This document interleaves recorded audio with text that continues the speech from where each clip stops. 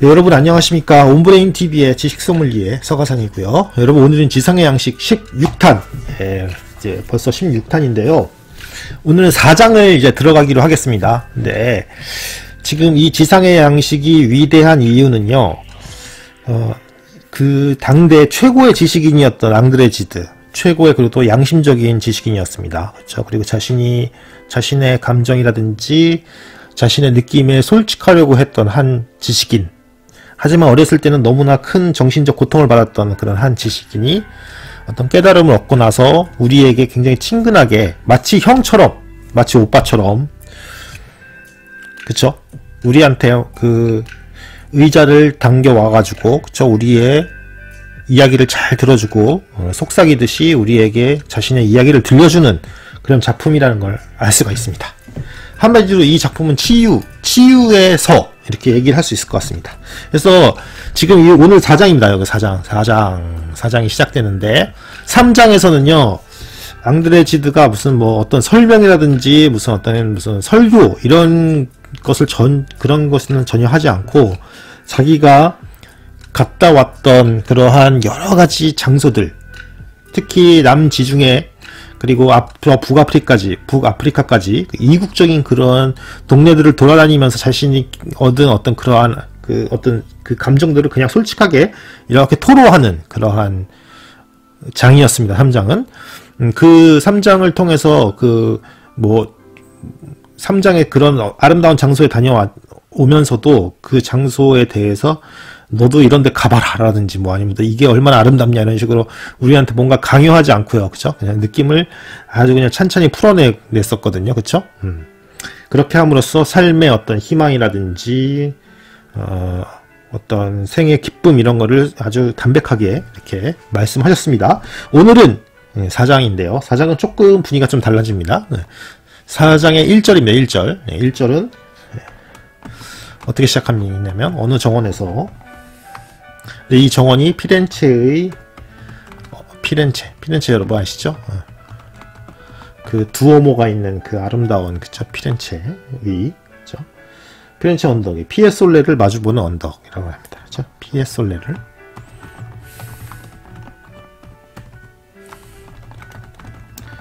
자 여기서 이제 그쵸 로마죠 그죠 그날 저녁 우리는 그곳에서 한데 모였다. 네, 여기서 보면 우리라고가 돼 있잖아요. 우리. 여기서 우리는요. 바로 앞 뒤에 나와. 바로 아래에 나옵니다. 자, 보시면 그러나 너희는 모를 것이다. 알 리가 없다. 그래서 앙게르 이디에 티티르요. 여기는 얘기가 나오는데 여러분 앙게르 이디에 티티르라고 하는 거는요.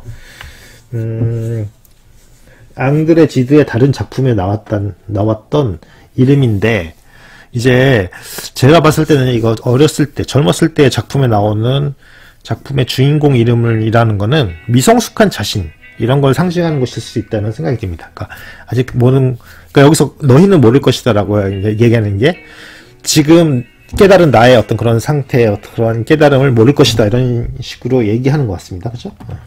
나의 청춘을 불살은 열정을 하고 맨날 그는 말했다. 근데 여기서 보면요, 그쵸? 나의 청춘을 불, 그니까 여기죠. 어, 너희는 모를 것이다의 대상은 이거네요. 나의 청춘을 불사는 열정을 너희는 모를 것이다. 음, 나와 같은 청춘을 경험하지 못했을 것이다. 이렇게 얘기하고 있는 것 같고요. 여기서 좀 보충 설명식으로 이렇게 괄호 안에 또 문장이 나옵니다. 나는 그대에게 그것을 나의 이름으로 거듭 말하는 바이다. 이게 메날크라고 하는 일종의 앙드레지드의 상징적인 스승이 스승이 메날크인데 이제 여기서 지금 나타나엘한테 우리 나타나엘은 곧 우리를 얘기하는 겁니다. 독자. 네. 그대에게 그것을 나의 이름으로 말한다.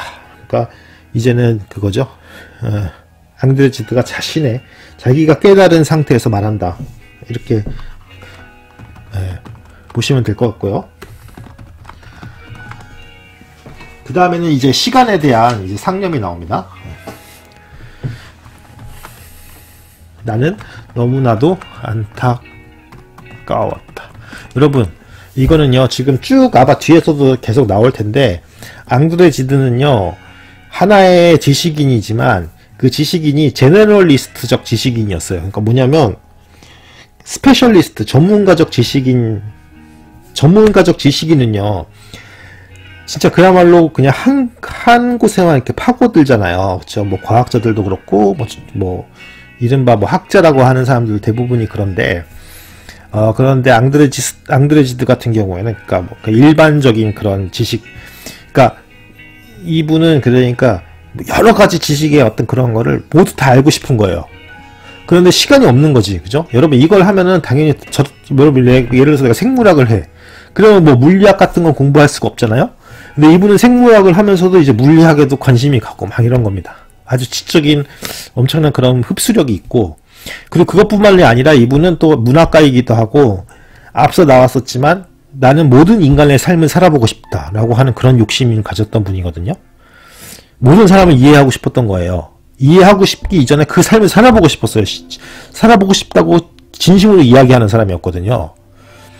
근데 실제로 또 그런 삶을 살았고요. 또 소외된 사람에 대한 그런 또 그런 그런 뭐라 그럴까 그런 걸 대변하는 사람이기도 했고 그러니까 시간이 지나가는 거 그죠 시간이 그냥 진짜 그야말로 그냥 시간이라고 하는 건 1차원이잖아요 그죠 앞으로 가고 갈 수, 미래로만 쭉 가고 그죠? 절대 돌아오지도 않고 그죠? 그리고 그 시간 내에는 다른 거못 하잖아요.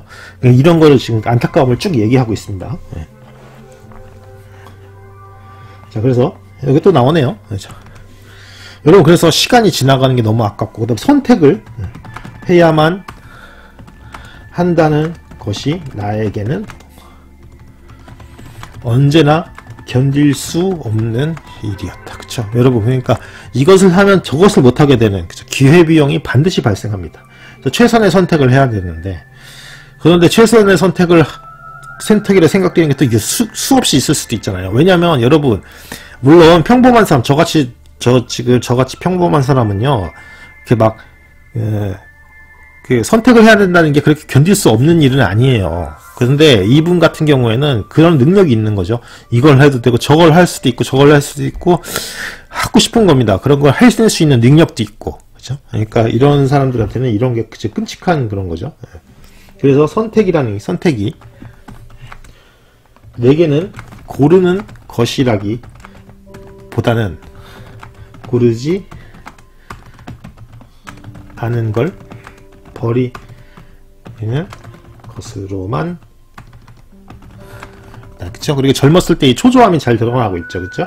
그래서 시간이 좁다는 것과 시간이 하나의 차원밖에 갖고 있지 않다는 사실을 끔찍한 마음으로 깨달았던 것이다. 또 이거는 또 앙드레 지드 같은 경우에 어렸을 때부터 죽음에 대한 상념에 굉장히 사로잡히는 사람이었기 때문에 견딜 수 없는 거죠. 어, 자기의 이 지금 삶은 딱 하나밖에 없는데 내가 이것을 선택을 한다는 것은 어, 그것보다 더 달콤할 수도 있는 어떤 걸 포기하는 것이 아니냐.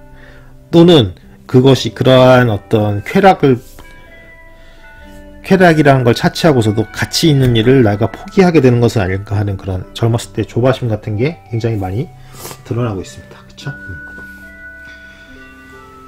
그쵸? 그리고 폭이 넓다란 어떤 것이었으면 하고 바랐지만, 그쵸? 그것은 한낱, 여기서 그것은 시간이죠. 선에 지나지 않았고, 나의 욕망들은 그 선 위를 달리면서 어쩔 수 없이 서로 짓밟 지 않으면 안 되었다.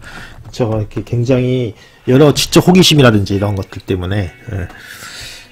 그 자기가 어떤 행동을 하면서도 선택하지 못한 다른 하나에 대해서 그런 어떤 미련이 남고 이런 상태였다는 거죠. 그렇죠? 음. 그래서 나는 이것 아니면 저것밖에 할 수 없었다. 동시에 뭔가를 할 수 없었다는 거죠. 만약에 이것을 하면 곧 저것이 아쉬워져서 번번이 애타는 마음으로 두 팔을 벌린 채 아무것도 할 엄두를 내지 못하였다. 그쵸? 어. 떤 포기하는 것들이 너무 아쉬워져서 아예 어떤 행동을 하지 못하는 그러한, 그쵸? 그런 무기력의 상태. 그쵸? 음. 그래서 잡으려고 팔을 웅크리면, 그쵸? 어. 무엇이든 하나밖에 잡히지 않을까봐 겁이 났던 것이다. 그렇죠? 그때부터 다른 많은 공부를 단념할 결심이 서질 않았기 때문에 무슨 공부든 한 가지를 음, 오래 계속하지 못하는 것이 나의 일생의 과오가 되고 말았다. 이렇게 얘기하는데, 그쵸? 음. 그러니까 이러한 공부를 하면 또 저러한 공부가 아쉽고, 그러면서 계속 다른 공부를 또 전전하고 그랬었겠죠? 음. 그래서 무슨 공부든 한 가지를 오래 하지 못하는 그러한 것이 자신의 일생의 과오가 되고 말았다. 이거는 부정적으로 생각하면 지금 같은 시대, 전문화된 시대에는 이게 물론 앙드레지드도 지드의 시대에도 전문화가 가속화되고 있었던 시기였기 때문에 어, 이런 오히려 지금보다 훨씬 더 전문화가 강조되고 있던 사회였거든요.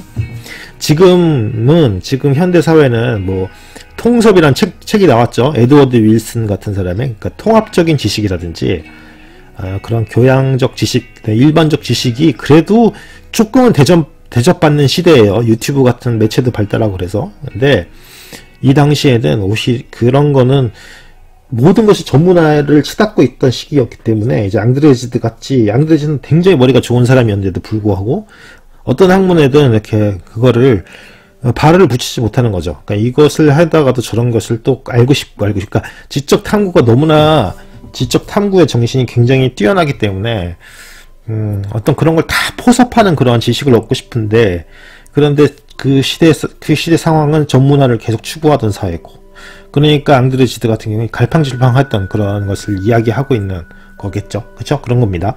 예, 이거는요 근데 시사하는 바가 많아요. 예, 지금도 전문화된 시대이긴 하지만 지금 같은 경우에 이제 뭐 융합적 지식이라든지 뭐 통섭 지식 이런 것들이 굉장히 중요시되고 있는 사회인 게 어, 여러 가지 지식의 형태 것들이 것들이 서로의 어떤 한 단면밖에 보지 못하고 있기 때문에 그것을 이렇게 조립, 조, 조립해서 구성해 가지고 새로운 또 지식을 이렇게 제시할 수 있는 그런 것도 중요해지고 있거든요. 그러니까 여러분들께서도 이 앙드레 시대의 고민을 한번 같이 고민 같이 공유해 볼 필요가 있다. 이런 생각이 좀 듭니다.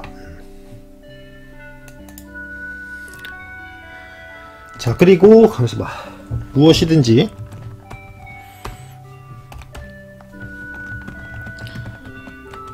그러한 대가를 치러야만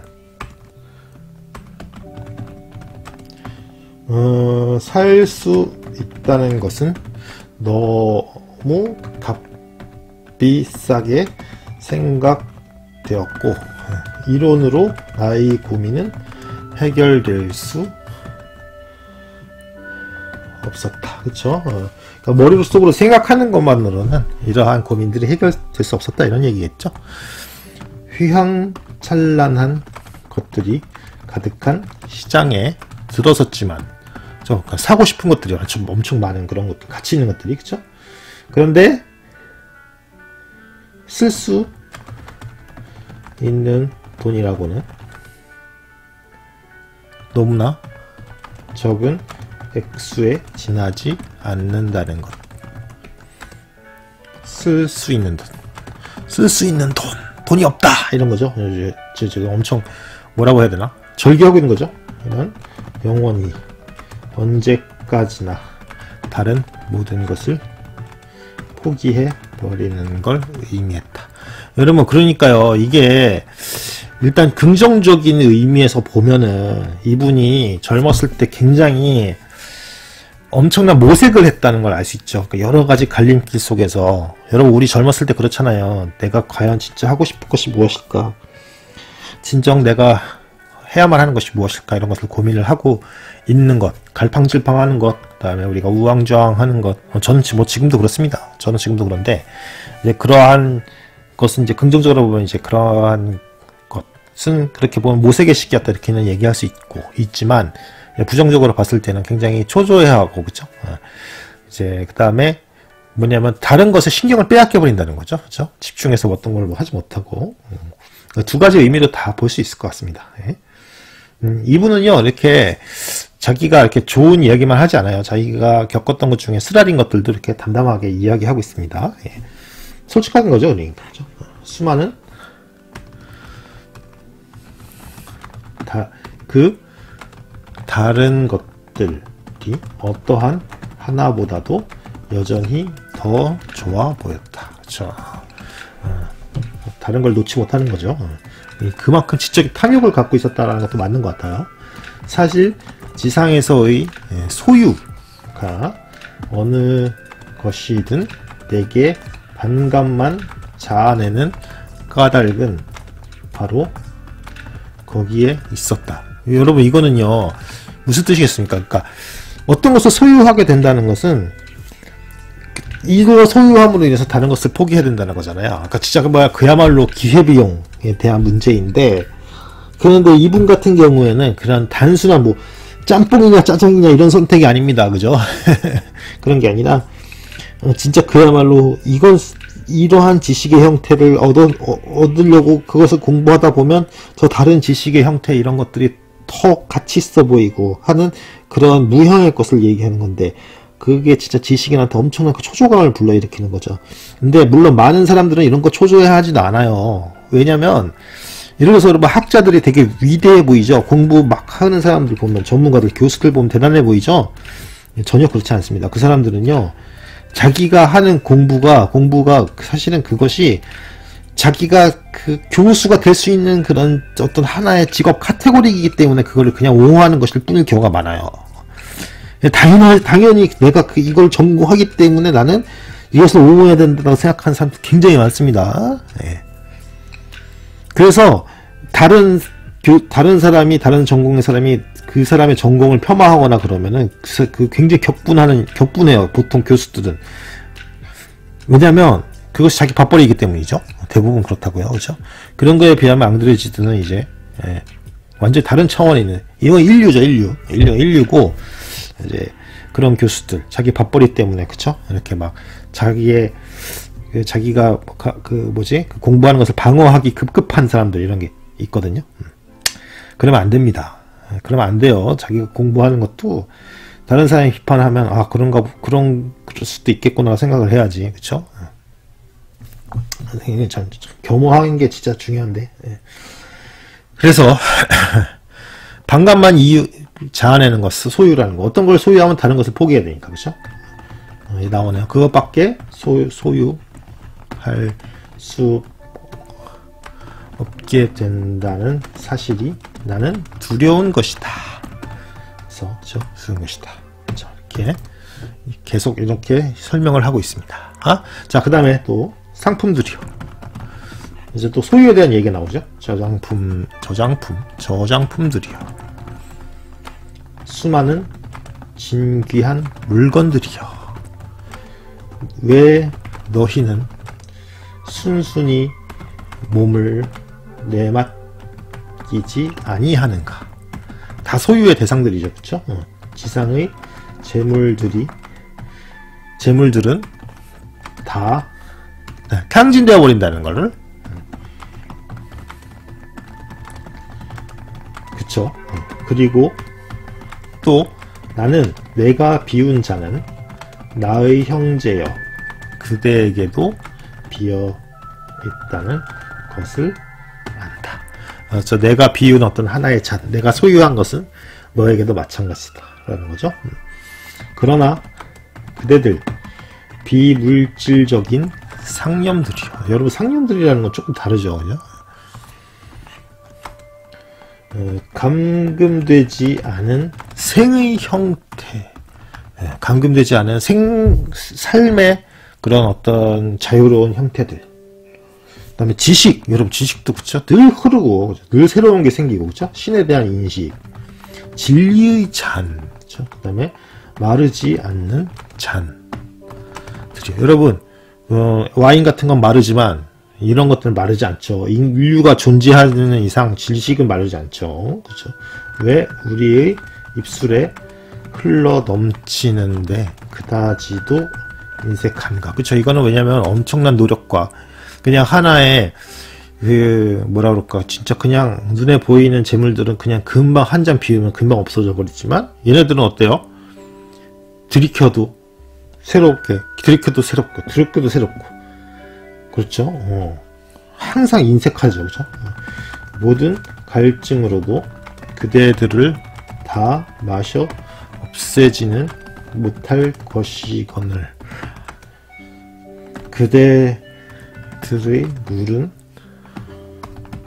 새로 내미는 입술을 위해 언제나 신선하게 넘쳐 흐를 것이거늘 그쵸? 음. 음. 그러니까 우리가 어떤 상념이라든지 지식의 이것들은 우리가 마셔도 마셔도 없어지지 않고 그쵸? 언제나 신선하게 넘쳐 흐르는데도 그것을 다 마시는 거 우리가 그것을 접하는 것은 그렇게도 어렵다. 아, 이게 이중적인 거, 모순이죠. 예, 두 가지를 동시에 얘기하고 있죠. 그쵸? 음, 이 거대하고 신, 아, 이거 잠시만요. 죄송합니다. 자, 또 다른, 또, 자, 어, 어디 나와 있냐. 이 거대하고 신성한 샘물, 물의 모든 물방울은 다 같이 귀중한 것임을 나는 이제 깨달았다. 가장 작은 물방울 일지라도 우리를 일지라도 우리를 도취시키기에 촉하며 우리에게 신의 전체와 총체를 계시하여 준다는 것을. 그러니까 아무리 작은 지식, 아무리 작은 생의 어떤 그러한 즐거움, 이러한 것들 일지라 하더라도 우리에게 진짜 그야말로 무한해. 신의 신성의 모든 것을 근데 여기서 여러분 신이라고 하는 것은요. 어, 그 기독교적 신, 인격적 신이라고 해야 되나 이런 거 뭐 저 위에 그래서 우리가 뭐 조물주를 우주를 창조한 신 이런 게 아니라 신은 자연 그 자체 스피노자적 신입니다. 봄신론적 신 그런 것을 이야기하고 있죠. 음. 그 자연 그 자체에 대한 그러한 것을 단 조그마한 어떤 그러한 케이스를 통해서도 이제 다 흠뻑 알 수 있다 이런 얘기죠. 그러나 그 당시 나의 광기가 무엇인들 바라지 않는 것이 있었 쓰랴. 그렇죠 이건 젊었을 때 앙드레치트가 가졌던 엄청난 그런 지적인 어떤 그런 거 맹렬한 그 매진이라고 그러죠. 매진? 매진하는 어떤 그런 지식을 향해서 매진하는 그러한 마니아틱한 그런 모습. 진짜 그야말로 미쳐 있었던 모습 이런 거를 지금 이렇게 회상하는 겁니다. 그죠 어. 야, 여러분 에, 진짜 이렇게까지 뜨겁고 이렇게까지 열정적인 그런 사람이 있었을까 우리는 그렇게까지 열정적이었을까 근데 그런 분들 분명히 계실 겁니다. 젊었을 때 열정적으로 사셨던 분들. 많은 것을 알고 싶어 했고, 자신이 바라는 것을 얻기 위해서 투쟁하셨던 분들은 아마 이 앙드레지트에게서 진한 감동을 얻지 않을까 이런 생각이 듭니다. 네. 그 다음에, 나는 모든 형태의 생을 부러워 하였다. 이게 앙드레지드를 특정 짓는 하나의 굉장히 중요한 이런 문장이에요. 그러니까 다른 모든 형태의 생이라고 하는 것은 악이든 선이든 가리지 않고 그 인간을 그 자체로 그 생에 들어가 보고 싶어 하는 그러한 진짜 열렬한 마음가짐을 가지고 있었습니다. 그래서 이분의, 음, 그래서 이분의 그런 문학 작품 같은 것을 보면은 굉장히 독특하고, 이제 뭐라고 도덕적이라고 얘기할 수 없, 지만 무한한 감동을 주는 뭐가 있어요, 진짜. 그야말로. 그야말로 뭔가 판단하지 않고, 그쵸? 그 안에 들어가서 그 비참하지만 아름다우면서도 이렇게 뭔가 일그러져 있는 그러한 환상이라든지 뭐 아, 그런 모습 진짜 그야말로 그런 비전을 보여주는 그런 뭔가가 있거든요. 예. 이게 바로 요 한 문장에 지금 죠. 나는 모든 형태의 생을. 이게 뭔가를 이해하고 싶은 거죠, 그렇죠? 이해하는 것을 넘어서고 싶은 거죠, 그죠? 그냥 그게 되고 싶은 거죠, 그죠? 이게 진짜 어려운 거죠. 보면 무엇이든 나도 그것을 하고 싶었다, 그죠? 네. 그것을 했다는 경험이 아니라, 그러니까 내가 어, 아 이것을 이러이러한 것을 했어 이런 것을 하고 싶어서 했어가 아니라 그것 자체가 되고 싶었다는 거죠. 그냥 그것을 하고 싶었던 것이다. 하고 싶었던 것이다. 그냥 아무런 판단 없이 그냥 그냥 그죠? 어. 그냥 뭐. 그래서 어, 내 말을 어, 내 말을 제대로 제대로 그래서 내 말을 오해하지 말라고 하는 내 말을 제대로 알아다오 제대로 아, 알아들어 다오 이렇게 제대로 알아들어 다오 그러니까 뭐냐면 에, 함부로 오해하지 말라고 하는 거죠. 왜냐하면 나는 피로나 고통을 별로 두려워하지 않았으니까. 그렇죠 그러니까 뭐냐면 어, 우리가 이해할 때 우리가 뭐 다른 사람의 삶을 진짜 이해하고 싶 그걸 하고 싶다라는 것도 위험 부담도 많고 그리고 번거롭기도 하고 여러 가지 제약 때문에 그쵸? 근데 이분은 진짜 실제로 그러한 것을 하고 싶었던 거죠 그래서 뭐 여행도 떠나게 되는 거고 자신의 모든 재산을 처분하고 여행도 떠나고 하는 것들을 했던 이유가 그런 게 있겠죠 그리고 오히려 그것을 생의 수행이라 믿었던 것이다. 나는 파르미메니드가 터키 말을 배우고 있던 까닭에 그를 3주일 동안 질투했다. 그죠? 그러니까 자기도 배우고 싶은 거를, 그죠? 하고 있는데 자기는 못하니까. 그 후 두 달이 지나서는 천문학을 알게 되었던 테오도즈를 질투했다. 아, 무엇이든 아직 알고 싶고 그거를 이해하고 싶고 그것이 되고 싶은 거죠. 왜냐하여 나는 나의 모습을 한정하려고 애, 한정하지 않으려고 애쓴 나머지 나의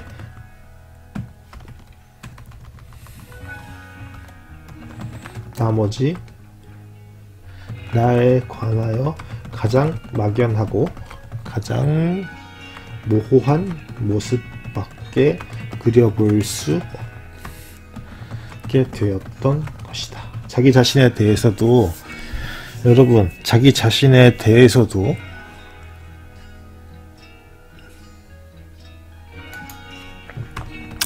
여러분 자기 자신을 대해서도 규정할 수 없는 나는 내가 무엇인지 잘 몰라. 나 내가 어떻게 해야 되는지 몰라 라고 하는 것은 음, 굉장한 주저함의 표식일 수도 있지만 어떻게 생각하면 지성의 굉장히 위대한 지성의 어, 표식일 수도 있어요. 그러니까 소크라테스가 이야기하는 게 항상 그거거든요.